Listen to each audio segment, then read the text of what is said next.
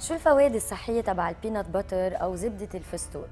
peanut butter عالي بالبروتين يعني تقريبا كل ملعقتين فيه 7 جرام من البروتين.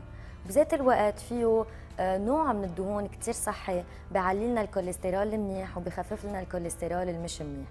ضروري نعرف إنه الملعقة الكبيرة من ال peanut butter فيها تقريبا 90 كالوري.